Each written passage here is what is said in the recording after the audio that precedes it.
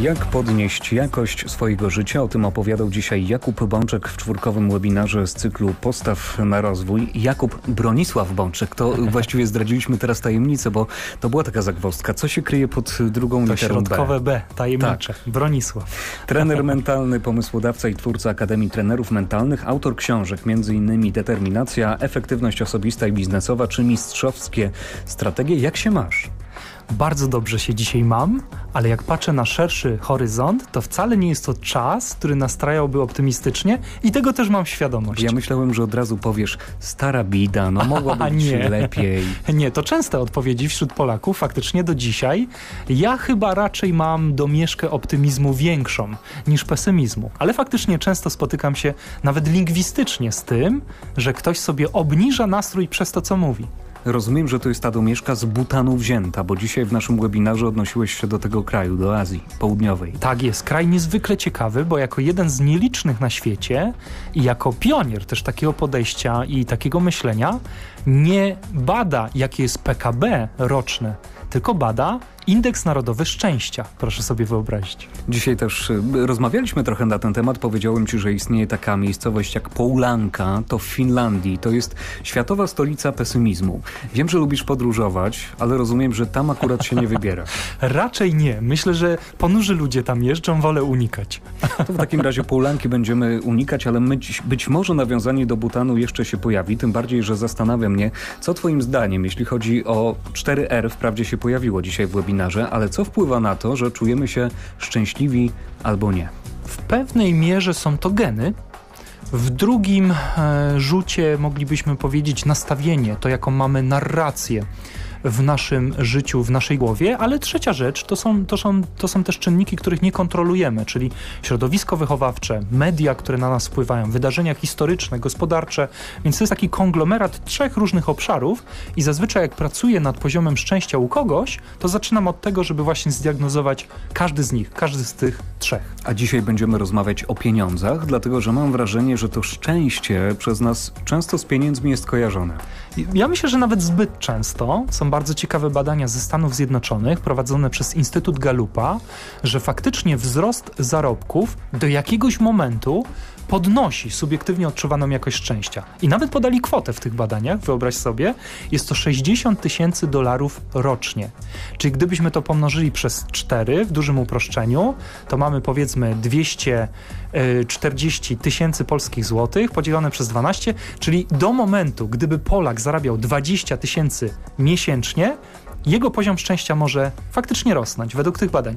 Okazuje się jednak, że powyżej tej kwoty poziom szczęścia maleje. Nie będę zaglądał na twoje konto, ale jako emeryt, bo jako emeryt się też często przedstawiasz, jeśli tak. chodzi y, o występowanie na scenie przede wszystkim, przede podejrzewam. Wszystkim, tak. To jesteś w stanie powiedzieć, że faktycznie pieniądze szczęścia nie dają? Ja myślę, że pieniądze dają szczęście, ale wtedy, kiedy niezaspokojone są podstawowe potrzeby. Czyli jeśli nie mamy z tej choćby piramidy Maslowa, zaspokojonych potrzeb fizjologicznych, bezpieczeństwa czy afiliacji, to pieniądze mogą podnieść standard życia również w kontekście mentalnym.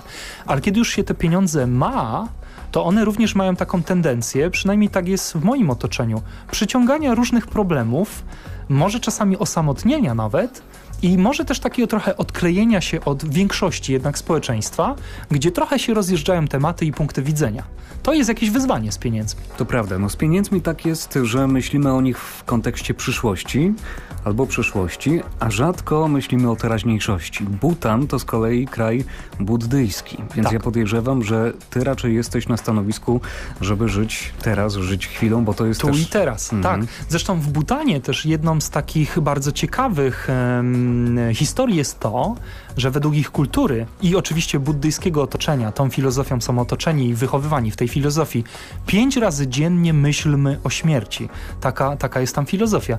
I skoro taki człowiek, taki butańczyk, jeśli dobrze to wymawiam, pięć razy dziennie myśli o śmierci, to być może trochę bardziej docenia to, co ma i co może osiągnąć przed śmiercią, niż statystyczny Europejczyk. Ale wyobrażasz sobie, że my teraz zaczęlibyśmy tak funkcjonować? To znaczy budzimy się rano i pierwsza myśl to jest ta, że kiedyś umrzemy. No w naszej kulturze nie wiem, czy by to przeszło, chociaż z drugiej strony większość z nas wychowywała się w duchu katolickim e, i też mieliśmy dość wcześnie wypowiadane słowa na temat grzechu, na temat tego, że jesteśmy nieczyści, czy też przysłowiowe moja wina, moja wina, moja bardzo wielka wina, no to było implementowane do naszej psychiki. Pewnie powyżej 90% z nas pamięta to z lekcji religii, czy też z kościoła.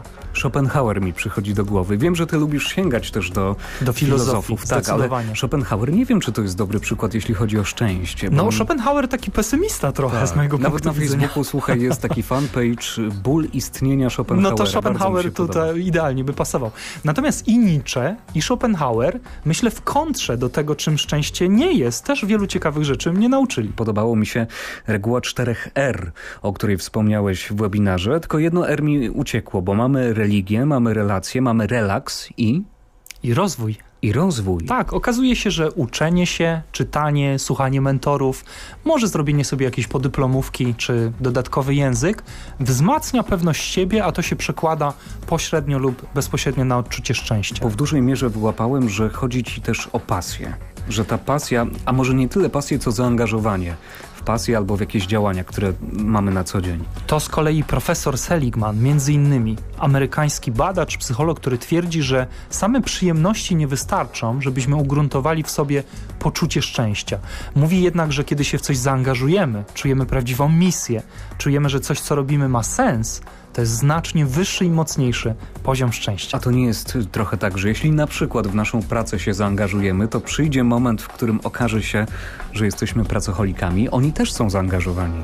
Oczywiście, oczywiście i wtedy na pewno szukamy, jeśli pracujemy na przykład z pracocholikiem, jakiegoś kontekstu, który mógłby zrównoważyć to, co dzieje się w pracy.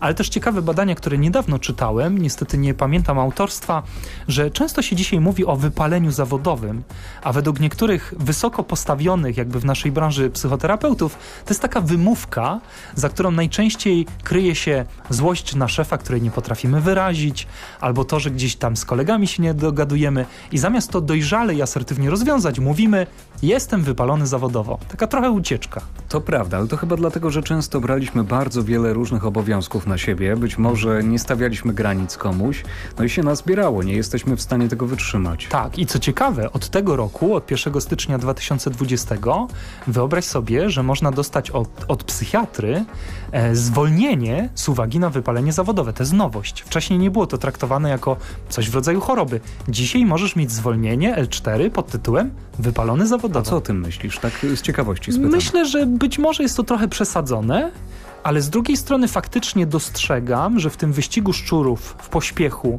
w porównywaniu się do innych ludzi, często praca jest tym czynnikiem bodźcującym na obniżenie jakości życia, więc być może idziemy w dobrym kierunku, ale nie byłbym taki bardzo fundamentalistyczny, żeby pracoholizm czy wypalenie zawodowe traktować już jako jednostkę chorobową. Tego bym się chyba powstrzymał od tego. Znam też takich ludzi, którzy pracują, no i wprawdzie trochę narzekają na swoją pracę, ale jednak z drugiej strony mają pasję, w którą są bardzo mocno zaangażowani i to się gdzieś tam równoważy. równoważy. To jest świetne w ogóle rozwiązanie, kiedy my mamy coś poza pracą, co kompensuje nam ten wysiłek zawodowy. Czyli na przykład, jeśli ktoś pracuje umysłowo, mówimy w psychologii, warto, żeby miał aktywne hobby. Natomiast jeśli ktoś pracuje typowo fizycznie, może nie byłoby źle, gdyby miał jakąś pasję, czy to artystyczną, czy to być może muzyczną, żeby ona była bardziej statyczna, czyli żeby kompensowała to, czego w pracy nie ma. A jeśli ktoś jest informatykiem albo programistą i on jest zafascynowany, ale tylko tym programowaniem, to, to dobrze? No tu też jest jakieś zaangażowanie. Ja bym polecał randki w czasie wolnym, bo wtedy to jest troszkę odejście od komputera i wyjście już do człowieka, który ma neurony lustrzane, w przeciwieństwie do komputera. Chciałem coś złośliwego powiedzieć, jeśli chodzi o tę branżę, ale się chyba... Boję się. Chyba powstrzymam, nie, to będę uciekał. A jeśli ktoś ci mówi na przykład, przychodzi do ciebie i mówi, no ja nie mam żadnej takiej rzeczy, wstaję rano i jakoś nic mnie nie pociąga specjalnie. Bardzo często często, bardzo często. Myślę, że cała branża rozwoju osobistego powstała trochę na takiej potrzebie, że ludzie nie wiedzą do końca, co ich kręci. Bardzo często. A sportowcy też tak mówią? Sportowcy może rzadziej, no bo siłą rzeczy oni mają jakiś bardzo ważny, taki wspólny mianownik swojego życia, e, swoją dyscyplinę sportową, ale niestety często jest tak, że są tak sfokusowani na swoją dyscyplinę sportową, że już nie widzą świata poza i wielokrotnie też sportowców zawodowych, rodziny rozpadają się dużo częściej niż średnia społeczna. Bo tak sobie myślę, że kiedy mamy sportowca, który kilkanaście albo kilk, no kilkadziesiąt, to może nie, lat angażuje się w swoją y, pasję przy okazji, w swoją pracę, to przychodzi taki moment, że on już jest trochę, no właśnie, wracamy do wypalenia, ale z drugiej strony nie widzi żadnej innej rzeczy, którą mógłby się zająć. No bo on na przykład kulą pcha przez 20 lat, albo przez 30, albo gra w siatkówkę przez 25. I dodatkowy jeszcze czynnik jest taki, że w czasie COVID-u, kiedy on miał na przykład okres lockdownu i nie było treningów, musiał się na nowo uczyć taki sportowiec, jak się obsługiwać komunikacją z żoną, jak zarządzać dziećmi, bo nie było to dla niego typowe, i jak od rana do wieczora na przykład zająć się tym, co my dzisiaj zjemy, bo zazwyczaj sportowcy, którzy jakieś 200 dni spędzają na wyjazdach, na zgrupowaniach, na treningach, no takie rzeczy pozapominali.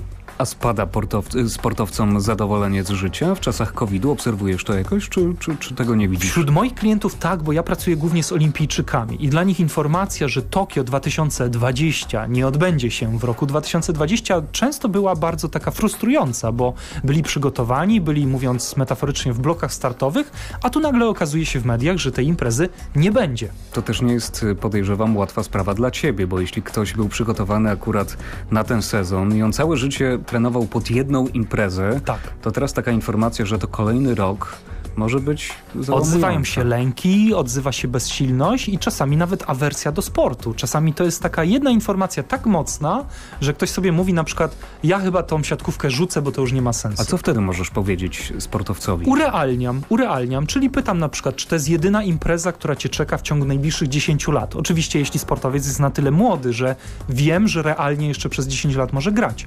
Pytam, czy ma już za sobą jakieś sukcesy, które mogłyby go wzmacniać. Pytam, e, czy ma powołanie na kadrę. Zazwyczaj pracuję z kadrowiczami, więc wiem jaka jest odpowiedź. I kiedy urealnię tą sytuację, okazuje się, że nie taki wilk straszny, jak go malują. Szukamy dzisiaj sposobu na to, żeby podnieść nasze zadowolenie z życia. Zaangażowanie to jest na pewno jeden z takich sposobów. Wiem, że ty jesteś też takim zwolennikiem relacji, to znaczy budowania bardzo, relacji. Bardzo, bardzo. I też y, szereg różnych badań na całym świecie potwierdza. W Polsce profesor Ome pięknie o tym pisze, że relacje wzbogacają, relacje utrzymują nas w młodości, relacje mają wpływ na naszą gospodarkę hormonalną, że relacje są podstawą tak naprawdę długiego i dobrego życia. Też wiele różnych artykułów czytałem na temat tego, że warto się przytulać chociażby, bo Absolutnie. wtedy oksytocyna, oksytocyna to wszystko tak. to wszystko się wtedy wydziela, tylko że żyjemy w czasach, w jakich żyjemy. Mało tego, nawet taki kontakt face to face jest dzisiaj utrudniony, czyli to sprowadza się do budowania często relacji w internecie. To pewnie akurat nie sprzyja temu, że budujemy nasz nasze szczęście. Nie sprzyja. To w takim bardzo dużym uproszczeniu w ogóle tendencja granicząca z nowoczesnymi technologiami jest taka, że my emocje zamieniamy coraz częściej na emotikony. Czyli zobacz Jakub, to jest troszkę tak jak Orwell pisał w 1984 roku o nowomowie, o znakach, które partia dała, żeby tam zniszczyć emocjonalność u ludzi, jakieś takie podstawowe odruchy. No to w pewnym sensie ja dzisiaj jak czytam Orwella, to myślę sobie, że ten świat mediów społecznościowych, gdzie śledzą nas ekrany, gdzie mamy nowomowę, czyli tam jakieś trzy literki, które coś oznaczają i gdzie mamy dwukropek i nawias, bo ktoś go wymyślił i my w taki sposób mówimy swojej dziewczynie, że ją kochamy, no żyjemy w takim kłopotliwym moim zdaniem czasie, który nie sprzyja temu, żebyśmy właśnie te relacje pogłębiali. To prawda, albo jak idąc tropem Orwella też folwark zwierzęcy, w którym przecież te relacje międzyludzkie widzimy jako coś, gdzie każdy chce nas wykorzystać. To też tak, nie jest i takie bardziej zdrowe. pionowe niż poziome, prawda? Że, że ktoś chce nad nami jakąś władzę albo chce coś od nas uzyskać. Ja, ja bardzo lubię, lu, lubię i, i chciałbym żyć w takiej filozofii, która jest może bliższa buddyzmowi, że relacje poziome, że wszyscy na świecie tak naprawdę mamy wspólny cel. Chcemy być szczęśliwi, chcemy uniknąć cierpienia i bez względu na to, czy ktoś wyznaje islam, czy katolicyzm, czy jest Żydem, no jesteśmy wspólnie homo sapiens i warto by było, żebyśmy tak traktowali się po prostu na jednym poziomie, ale myślę, że w Polsce mamy z tym wyzwanie. Potrafimy budować relacje, kiedy patrzysz na przykład na sportowców, z którymi pracujesz, albo na biznesmenów, albo mało tego, na ludzi, których spotkasz na ulicy, po prostu. No, teraz muszę odpowiedzieć szczerze, bo, bo staram się tu mówić tylko tak, jak jest. No akurat te grupy zawodowe, które wymieniłeś, są nastawione mocno na cel, często dużo mocniej niż taki przekrój społeczny.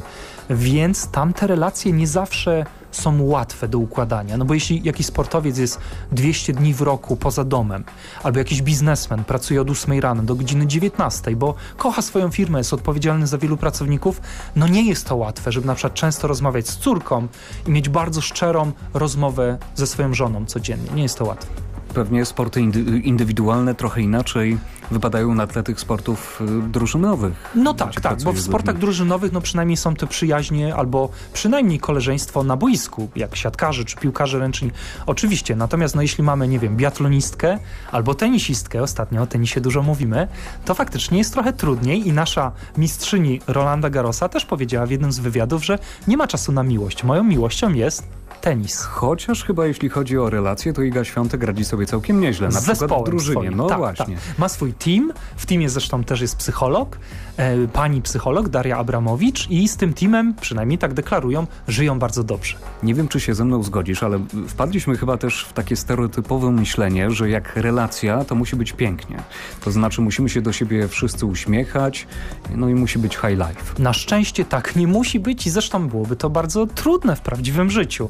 Zupełnie inaczej wygląda półtorej godzinna komedia romantyczna z Ameryki, a zupełnie inaczej wygląda prawdziwe polskie małżeństwo. I myślę, że jak zaakceptujemy tą sinusoidę, że są lepsze dni, że są gorsze dni, ale jednak wiemy, że zawsze mamy możliwość, żeby liczyć na tą drugą osobę, że za nią tęsknimy, że mamy wspólne pasje, wspólną przyszłość sobie planujemy, dużo łatwiej w życiu poradzić sobie z lękiem, z niepewnością. A jak ja na przykład mogę sprawdzić, czy mam problem z budowaniem relacji, czy nie mam? Jakieś ja mogę odpowiedzieć od razu, nie masz żadnego. To bardzo miłe, bardzo miło mi to słyszeć. Mów mi jeszcze, słuchaj, potrzebuję głasku.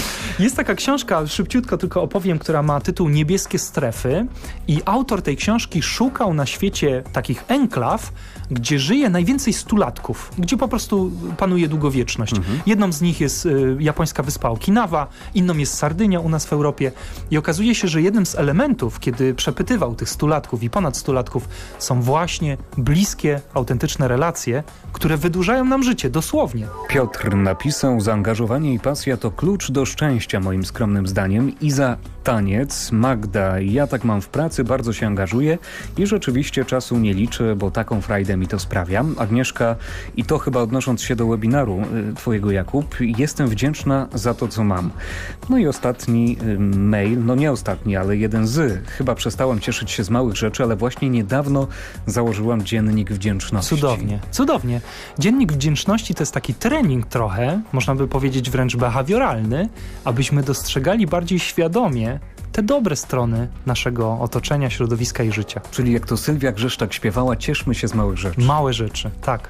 Bardzo często tego nie doceniamy, no, szczególnie w dobie konsumpcjonizmu, w dobie marketingu, który cały czas próbuje nas przekonać, że czegoś nam brakuje. O tej Sylwii to tak z uśmiechem oczywiście. No ale ten tekst, gdyby sam tekst przeanalizować, on jest zgodny z tym, czego uczymy. To prawda. Gdyby go Janusz Gajos recytował, to myślę, że myślę, zupełnie inaczej że byśmy tak, go odebrali. Że niektóre tak elementy moglibyśmy uznać, że to całkiem jest sensowne. Mam też takie wrażenie, że gdyby tam pod niektórymi cytatami podpisać, e, że to jest jakiś filozof stoicki, to byśmy się nieźle tymi cytatami cieszyli. tak, podpieralibyśmy się, myślę, na każdym kroku. Tak Powiedzieliśmy, że relacje to jest niezwykle ważna rzecz, jeśli chodzi o budowanie takiego dobrostanu na co dzień, tylko jak te relacje budować? Jest taka piękna książka pana Rosenberga, która ma tytuł Porozumienie bez przemocy i myślę, że ona może być dla nas takim jednym z narzędzi, żeby te relacje budować. Czyli z jednej strony on używa takiej metafory, że jest komunikacja w stylu szakala i komunikacja w stylu żyrafy. No i ta żyrafa jest taka, że mówi o swoich uczuciach, ale nie atakuje drugiej strony, tylko też próbuje się więcej dowiedzieć, dlaczego na przykład druga strona tak postąpiła.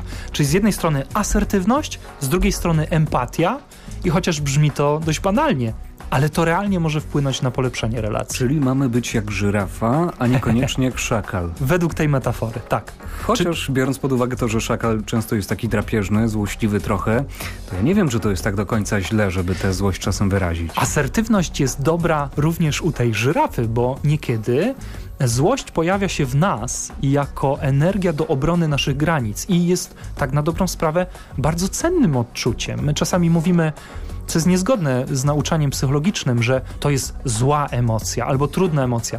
To jest po prostu emocja, jak każda inna i zazwyczaj ona nas uwrażliwia, kiedy ktoś za mocno nas naciska, albo próbuje złamać nasze standardy moralne, albo robi coś, co uważamy za nieetyczne.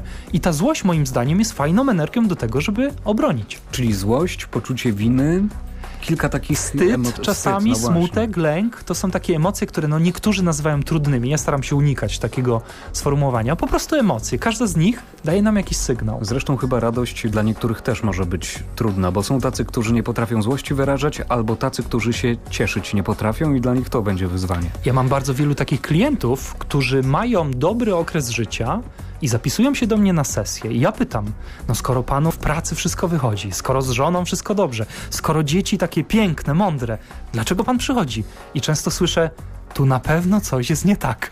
Za chwilę się zacznie. Więc czasami są tacy ludzie, którzy nawet nie potrafią się rozgościć w swoim dobrostanie, bo już przewidują za zakrętem jakąś tragedię. Ale to dla was też jest chyba jakiś materiał do pracy wtedy. Absolutnie tak. Związany często z tak zwanym impostoryzmem, czyli ktoś myśli sobie, że to dobre życie to jest bardziej fuks, on na to tak naprawdę nie zasłużył i troszkę czuje się jakby takim oszustem życiowym, bo tak naprawdę wierzy, że zasługuje na cierpienie. Jest to też do pracy. Nie mogę też o to nie spytać, biorąc pod uwagę, że pracujesz ze sportowcami, z olimpijczykami, czy to, co widzimy w telewizji, to znaczy tych uśmiechniętych, bogatych, wspaniałych, którym zazdrościmy po prostu, to tak jest naprawdę? Nie jest tak naprawdę i wielokrotnie mówię im to, kiedy mam do tego okazję, że to również szkodzi im samym bo kiedy wszyscy ich traktują jak półbogów, superbohaterów, takich ludzi, którzy nigdy nie mają słabego dnia, oni niekiedy mają taką pułapkę i wpadają w nią często, że sami tak zaczynają o sobie myśleć. I przychodzi zwykła porażka, która dla takiego świadomego i dojrzałego sportowca byłaby po prostu elementem drogi. A tych właśnie celebrytów często taka jedna porażka potrafi mocno sponiewierać, mówiąc brzydko. Zdradzę trochę kuchni radiowej. Mieliśmy okazję porozmawiać o y, Krzysztofie Ignaczaku, o Między siatkarzu. innymi. Między innymi, tak. tak, to prawda. Człowiek, który sam się przyznaje do tego, że miał różnego rodzaju kryzysy, że był na przykład takim trochę perfekcjonistą, który nie dopuszczał do my myśli, że może mu coś nie wyjść w życiu i to chyba trochę odbiera tego cieszenia się z życia. To jest odwaga i duże e, doświadczenie, ale też dojrzałość Krzysztofa, że on potrafi emocje nazywać. To też nie jest takie wcale oczywiste. Wśród polskich sportowców, o polskich przynajmniej wiem bezpośrednio, nie zawsze potrafią nazywać emocje. Krzysztof to potrafi, jest bardzo elokwentny, ma też e, taki e, szeroki wachlarz anegdot, jakieś historyje, które bardzo ciekawie tą jego wiedzę e, wydobywają na zewnątrz. No i często właśnie mówił, że pomimo tego, że zagrał mecz na 90%, on bardziej się skupiał na tym, że te 10% za mało. Dzisiaj już pewnie podchodzi do tego inaczej. Zmieniłeś to w jakiś sposób? No, to on zmienił, on zmienił, ale mam taką radość, że faktycznie pracowałem z Krzysztofem bardzo dużo i wielokrotnie podkreślałem, że z jednej strony oczywiście zawsze się w życiu każdego z nas znajdzie powód do smutku, niepokoju, zawsze się coś znajdzie, a równolegle do tego znajdzie się i coś, z czego możemy być dumni. Ale pe pewnie ktoś ci zaraz powie, no pracę to ja mam taką średnią, noga mnie boli, kręgosłup, na wakacje jakoś nie pojadę, bo nie mam za co, tu się pokłóciłem z rodziną, z czego tu się cieszyć? Zadałbym pytanie, kto tą pracę znalazł? Kto dba o to ciało, które skarży się na kręgosłup? Kto z tą rodziną się komunikuje? I gdybyśmy przenieśli trochę ośrodek decyzyjny do środka tego klienta, może znaleźlibyśmy jakieś narzędzia, żeby on sam wymienił pewne wydarzenia albo wymienił pewne wzorce. A gdzie jest jakaś granica między tym, że można ze swoimi sprawami poradzić sobie samemu, a taka, gdzie no już lepiej skorzystać z pomocy chociażby trenera mentalnego, jak w twoim przypadku? Zazwyczaj mówi się o okresie 14 dni ciągłego smutku. Bo oczywiście smutku doświadczamy każdy z nas i to jest zdrowe, to jest dobre, to jest normalne. Ale zazwyczaj ten smutek przechodzi nam po paru godzinach czy po dwóch, trzech dniach. Kiedy ktoś czuje smutek przez przynajmniej 14 dni, to jest jeden z takich bodźców alarmujących. No to w takim razie warto poddać się takiej autodiagnozie i sprawdzić, czy mamy problem, czy nie. Zachęcamy do tego, żeby odtworzyć być może webinar YouTube Zapraszamy. czwórki, Facebook czwórki, Facebook Super. Jakuba również, więc zachęcamy do tego, żeby tam zajrzeć. Webinar, który trwał 45 minut, to był trzeci z cyklu webinarów Postaw na rozwój. Za nami webinar Jaśka Meli na temat tego, że każde doświadczenie niesie jakieś dobre. Był też Artur Sujka, który z kolei opowiadał o networkingu. Wiem, o, że to też dla ciebie ważna sprawa. Tak. zamienia kontakty w kontrakty i opowiada o tym, że warto mieć plecy w takim dobrym tego słowa znaczeniu. Dzisiaj gościem był Kuba, za tydzień Anita Michalska. Bardzo dziękuję. Jakub Bronisław Bączek. Jakie to dla mnie odkrycie, że ta literka B została rozszyfrowana. Wszystkiego dobrego, dziękuję za zaproszenie.